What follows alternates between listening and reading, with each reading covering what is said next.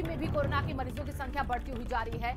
चौदह हज़ार इक्यानवे लोग यूपी में अभी तक संक्रमित हो चुके हैं। 24 घंटे में चार सौ छिहत्तर लोग कोरोना संक्रमित पाए गए हैं।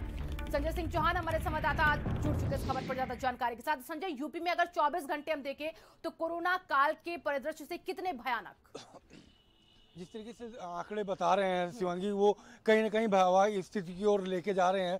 प्रदेश को चूँकि चौदह हज़ार से ऊपर के केसेस हो गए हैं और 500 के नज़दीक या 500 के एबव लगातार रोज़ाना केसेस ऐसे आ रहे हैं खुल करके सामने। तो आंकड़े ऐसे हैं जो कहीं ना कहीं एहतियात बरतने के लिए और लोगों को सावधानी बरतने के लिए पर्याप्त है और लोग सावधानी बरते, क्योंकि अनलॉक वन जिस तरीके से चल रहा है और लोगों का जिस तरीके से आना जाना और बिना सावधानी के काम करने की वजह से लगातार संख्याएँ बढ़ रही हैं। हालाँकि सरकार ने ट्रूनेट मशीनों के ज़रिए अपनी जो क्षमता है वो बीस हज़ार करने का दावा किया है और संख्या लगातार इसी वजह से भी बढ़ भी रही चूँकि जाँच की जो सिस्टम है वो बढ़ाए गए हैं।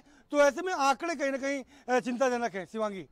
बिल्कुल, संजय, देखिए, और मौतों का आंकड़ा देखिए तो 24 घंटे में 18 मौतें भी हो चुकी हैं यूपी में।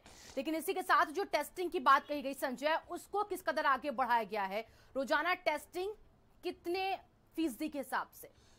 पहले आठ हज़ार जांचें हो पा रही थी लेकिन ट्रूनेट मशीनें आने के बाद अब ये जांचें पंद्रह हज़ार हो गई हैं। पंद्रह हज़ार से एबव है लेकिन जल्द ही ये जांचें अब बीस हज़ार से ऊपर भी हो जाएँगी। सरकार ने टारगेट हम्म। रखा है कि बीस हज़ार प्रतिदिन जांचें हो जाएँ जिससे कि हम जल्द से जल्द उन तमाम जो पॉजिटिव केसेस दिख रहे हैं या जो लक्षण वाले लोग दिख रहे हैं उनकी जाँचें करके हम उनको कोरोनाइट मतलब उनको आइसोलेट कर सकें या फिर उनको यथा व्यवस्थित कर सकें। तो ऐसी जाँचें अब ट्रोनेट मशीन के ज़रिए जल्दी हो जा रही है। तो आने वाले दिनों में ये जांचें और बढ़ेंगी। आपका फ़िलहाल।